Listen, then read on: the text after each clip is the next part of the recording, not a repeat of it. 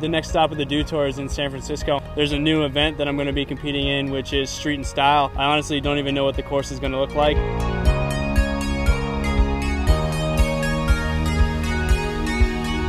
San Francisco, I love that place. It's always a good time, great places to eat and drink. Definitely looking forward to the crowd in San Francisco. It's the first time Dew Tour has been there, and and uh, I've been there once before, and I just know there's a bunch of rad humans there. So hopefully they bring the noise, and and that just hypes us up to ride and do stuff that we don't really want to do every day. But when when it's at a contest and the, the people are behind it and the, the vibe's right, then it, everything aligns.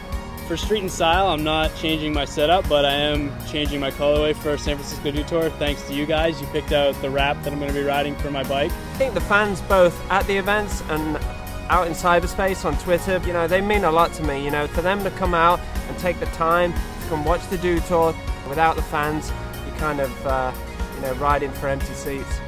Look forward to seeing you all at the San Francisco Dew Tour. Follow me on Twitter at Drew Bezanson and hashtag Team Toyota. See you there.